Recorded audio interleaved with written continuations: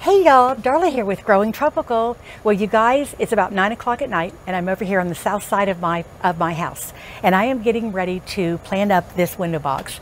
Now, you guys, it has been a really, really hot and uh, steamy summer, and there has been very limited time that I could actually get out here in the yard and do gardening because of the heat. So I have decided that my new thing is going to be getting out here well after the sun goes down and um, using some light to just do a little nocturnal gardening.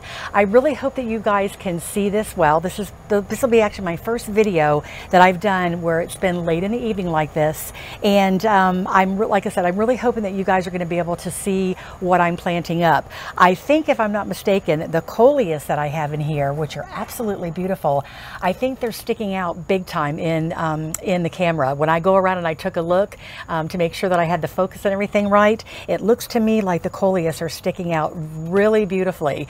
But just, um, just to tell you guys a little bit about what I'm going to put in this window box, and this is going to be the first window box of the fall for me.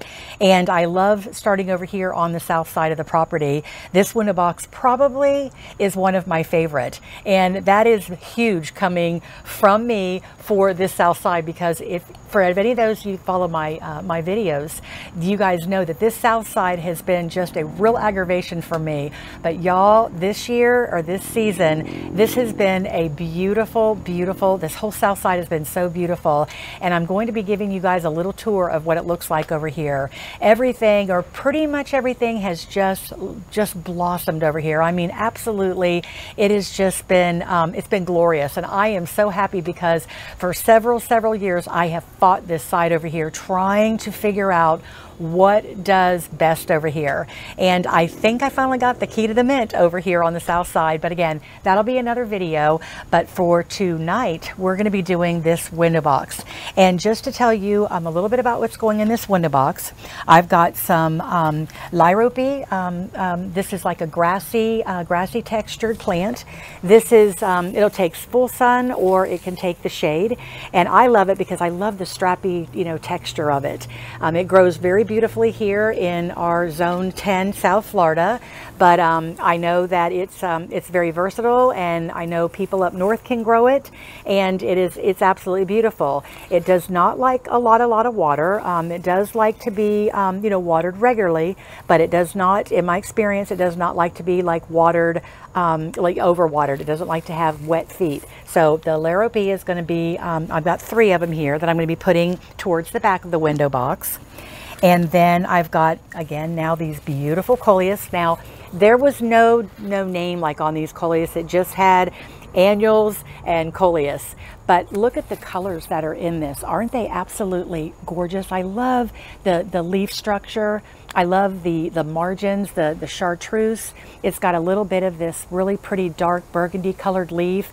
I thought it would pick up the um, uh, jet black uh, what are the uh, Ipomoea or sweet potato vine that I've got growing here. I thought it would it would just pick that up absolutely beautifully. So anyway, I've got let's see one, two, three, four. I'm going to be putting uh, I think five coleus that are going to be in here. And again, now the sweet potato vine. This is um, if I'm not mistaken, these are. Let me put my glasses on so I can make sure that I'm giving you the right name. These are proven winners, and they are Sweet Caroline Sweetheart Jet Black absolutely beautiful. I, I love this color. The chartreuse is actually pretty too, but the sweet potato vine, which I have two that are right here in the front. And now over here on either side, on either end, these guys were already in here. These are in, actually in the window box. They're planted in, and these have been in for, um, actually just a season now. I, I did it uh, early summer. I started um, with these asparagus fern or Actually, they're, they, they, I grew up knowing them as springerite fern, but if I'm not mistaken, I think they're also known as like asparagus fern. I love them. I, um, they, they've got a real prickly texture, but they're also really, really soft. And what I did was I just kind of shaped them up into these nicely neat little balls, but they were just like cascading over and they, you know, they grew up. They're absolutely beautiful. They grow either in the sun or I've had them in the shade. They, you know, they are very versatile. And uh, so I went ahead and I left these in for just that really pretty pop of green in this window box.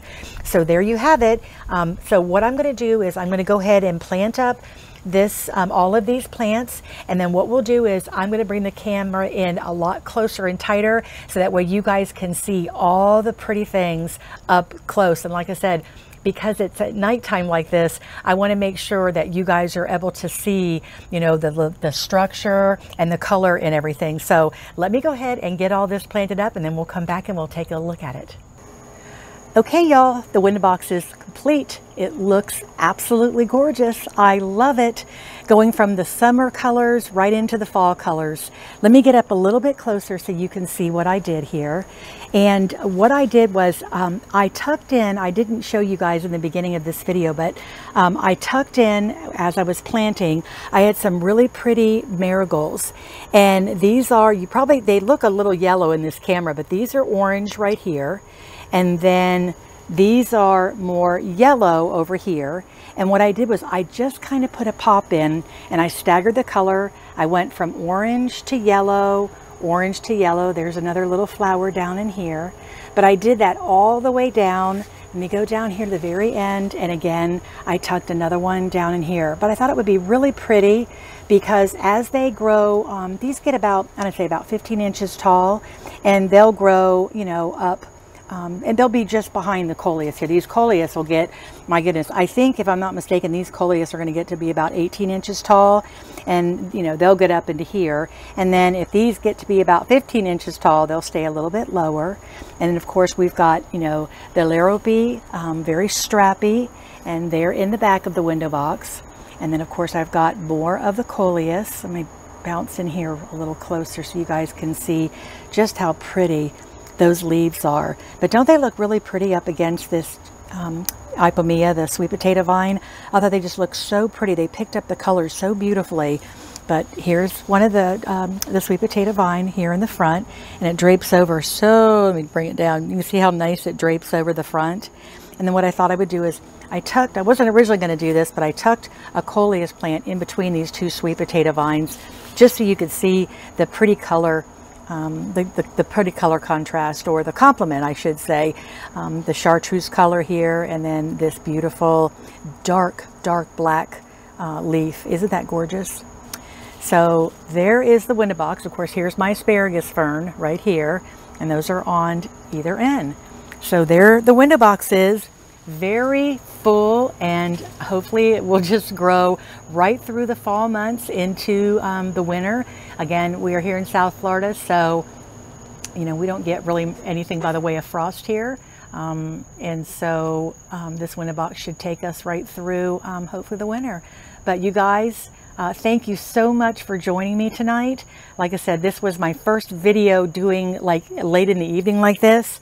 And um, I'm hoping this is going to turn out because if it does, I'm going to be doing a lot more, you know, in the landscape as well because it's so much cooler out. But you guys, um, we'll plan on seeing you in the next video. Bye.